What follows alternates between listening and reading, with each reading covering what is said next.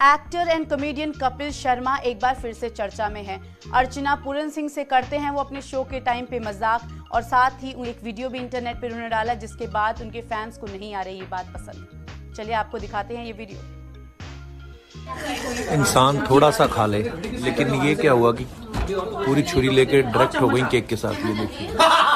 ये वीडियो कपिल शर्मा ने अपनी इंस्टाग्राम अकाउंट में डाला था, जिसमें वो अर्चना पूरन सिंह पर कमेंट कर रहे हैं कि एक इंसान केक तो खाता है, लेकिन ये तो पूरे अटैक करने के मूड में है। जिसके बाद ये बात इनके फैंस को पसंद नहीं आई, और साथ ही जो शो में करते हैं कमेंट्स जैसे कि अर्चना पूरन सिंह सुबह चार बजे उठती हैं अपने बाल कलर करने के लिए। ऐसी बातें उनके फैंस को नहीं आई पसंद, और वो हो रहे हैं इंटरनेट पर बुरी तरह से ट्रोल आइए आपको दिखाते हैं कैसे हो रहे हैं वो ट्रोल